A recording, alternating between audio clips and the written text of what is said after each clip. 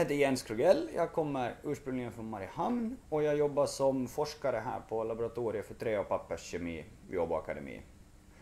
Eh, jag började med att läsa till diplomingenjör här vid ÅA och sen fortsatte jag att forska.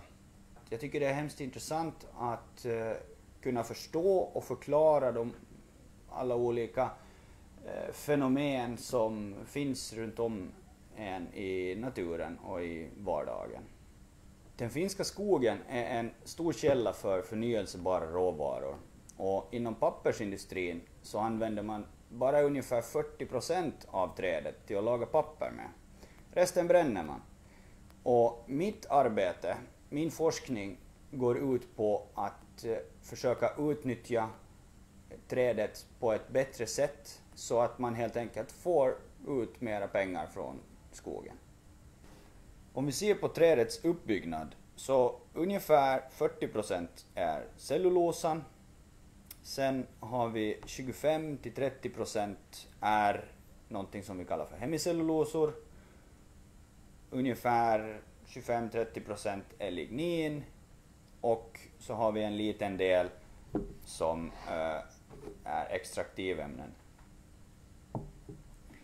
Och i mitt jobb är jag intresserad av att separera de här delarna ifrån varandra på ett effektivt sätt. När man lagar papper så separerar man cellulosan bort, den använder man och de här resterande delarna så bränner man i princip upp.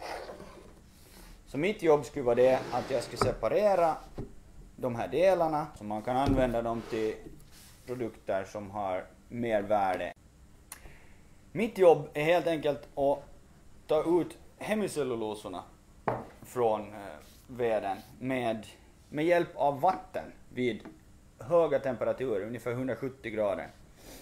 Och när man har gjort det, ja först så preparerar man veden, gör den lite mindre till sådant ungefär. Det här extraherar man med hett vatten, det är ungefär som att laga, laga kaffe, bara att vid 170 grader. Sen får vi ett vattenextrakt som ser ut så här.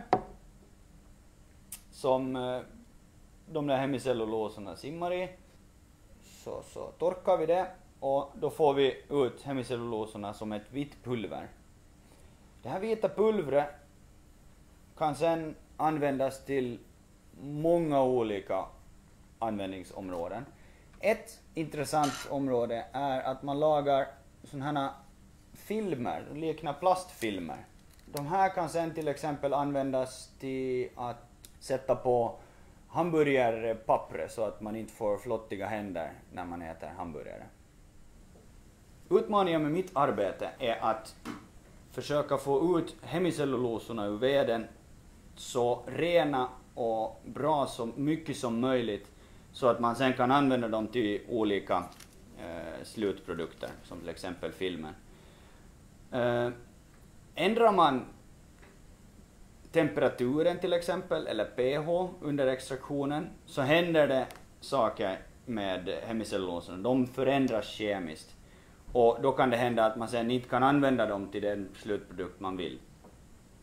Därför är det oerhört viktigt att uh, kunna hitta de här rätta extraktionsförhållandena eller extraktionsparametrarna.